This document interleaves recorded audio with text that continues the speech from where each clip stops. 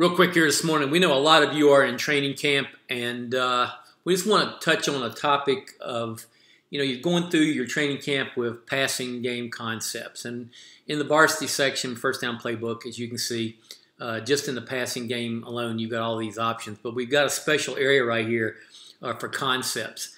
And uh, you know, one of the things that you have to be careful about in training camp is you're running your plays over and over and over again against your defense. Let's just take a snag concept here, and uh, let's say you're running it out of a you know a typical two by two formation, which a lot of you run. You've got the quarterback in the pistol or the gun, and you've got your back offset over here, and you're running a simple snag concept to this side over here.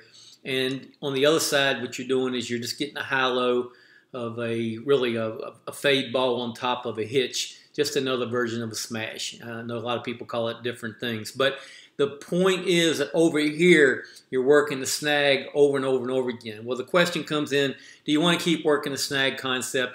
You don't play an opponent for two or three weeks. Uh, the defense is all over it, and, and you know you start looking at how do we expand the passing game without uh, putting too much in. And so we just want to suggest that staying inside the concept area and, and allowing yourself to run the same concepts but out of different formations is one way to do it. Now, you'll look on the back side of this, and all you've got is really just your individual post route, and you're doing it off the play action pass, but you still have the same snag concept over here. And you've got it really better protected on the front side with the play action pass uh, action going to the strong side. And then another way of doing it would be to get into back again and just running it out of a, uh, a wideout who has cut split down the two, and then it's going to stem release inside. But and then the other thing you're doing over here, and you might even have to offset your H if you're in the gun, um, takes away a little bit the running game.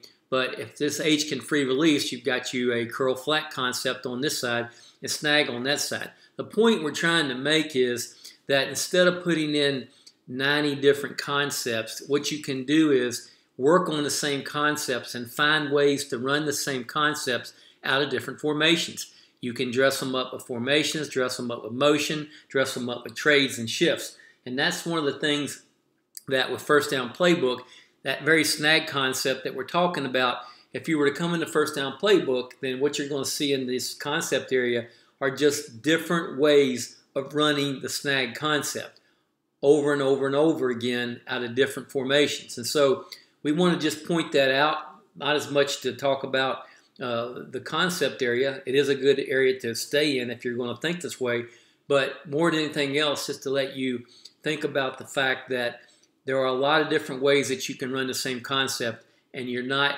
confusing your quarterback. You're keeping your quarterback sharp on the read that you want to uh, teach for the snag while at the same time you're incorporating different formations, different motion shifts, and maybe even diff a different concept on the backside.